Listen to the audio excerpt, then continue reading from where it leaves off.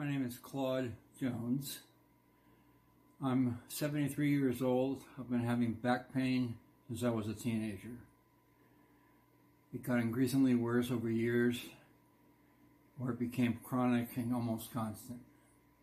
In the last six months, I developed a new problem in my left hip, which was an intense pain emanating from the ball socket and shooting down my leg.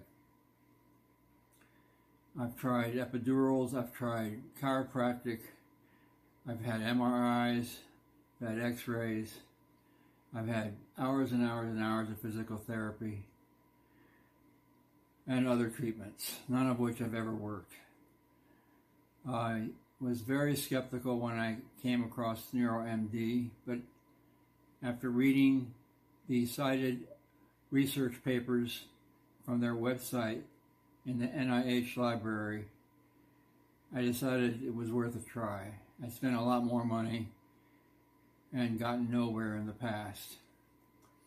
So for five weeks now, I've been using NeuroMD, and I have to say that I have I have experienced a 60 to 75 percent reduction in pain. I am totally amazed by this and um, continue to wonder how this is possibly so effective.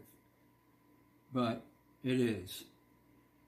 And given that they give you a money back guarantee, a 60 day trial with a full refund if you don't like it or if it doesn't work, I heartily recommend you try it.